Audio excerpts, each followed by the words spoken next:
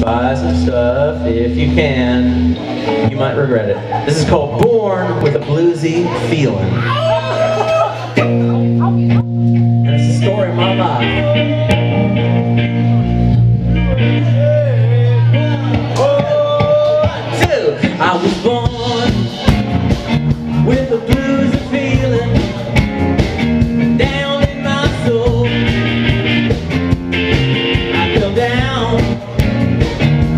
who succeeds.